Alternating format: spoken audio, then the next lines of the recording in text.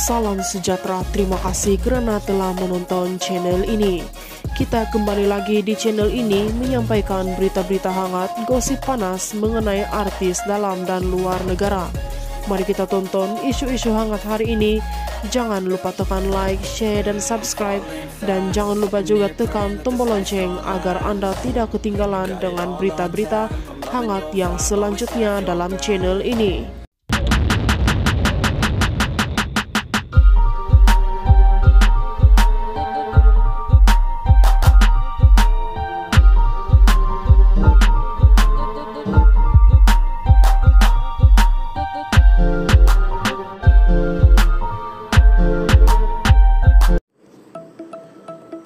Pengunduran Eli Mazlin sebagai pengacara All Star Gegar Baganza bukan satu isu besar sebaliknya persembahan 13 peserta yang perlu dijadikan fokus utama dan itu yang ditegaskan oleh salah seorang juri tetapnya yang juga penyanyi populer Indonesia, Hetty Kosendang.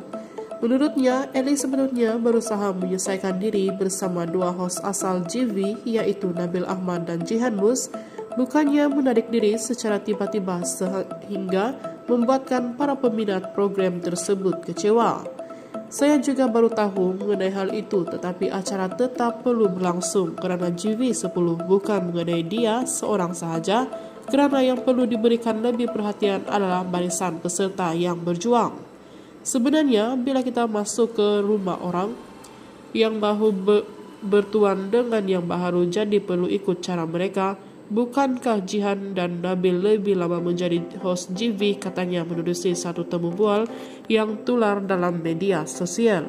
Tambah pelantun lagu kasih itu, Eli boleh membawa cara pengacaranya sendiri tetapi mentalnya perlu kuat sekiranya menghadapi sebarang kritikan daripada orang sekeliling termasuk rakan host lain. Dia dibenarkan untuk membawa versinya sendiri tetapi mungkin dua lagi host mempunyai cara yang berbeza Cuma dia kuat mental atau tidak, jangan main hati dan perasaan sebab dia masuk ke rumah orang jelasnya lagi. Eli menerusi video tersebut. Hetty turut membujuk Eli yang juga merupakan bekas peserta JV kembali menyertai program tersebut dengan semangat yang lebih kuat. Bahkan dia juga menolak dakwaan cara Eli mengendalikan JV 10 menjengkelkan seperti yang sering dikecam ramai sebelum ini. Kepada peminat Eli, dia tidak jelek. Jadi jika dia tidak kuat keputusan untuk keputusan itu diambilnya jangan, ayo dan bersama-sama. Tiada istilah kamu bagus dan saya jelek. Mari kita kerja berpasukan untuk menjaga GV10. Kadang-kadang dia memang agak sedikit terkeluar dari landasan, tetapi saya pujuknya kembali. Hai Lina, kamu bagus sekali. Tetapi lebih baik sekiranya tidak menyanyi supaya dia tidak over. Kalau saya hanya di mulut saja dan bukan hati, dia oke okay dan message saya sekiranya ada hal-hal berbangkit selain meminta maaf jika terdapat ketelanjuran dalam gurauan tegasnya lagi. Pada minggu lalu, Elia memilih dengan panggilan Kak Linda Pompom mengejutkan ramai apabila mengumumkan menarik diri sebagai host TV 10 selepas 3 minggu bersama tidak mendedahkan tindak lanjut keputusan tersebut diambil atas sebab pribadi yang enggan dikongsikan kepada umum selain menafikan dia sedang hamil.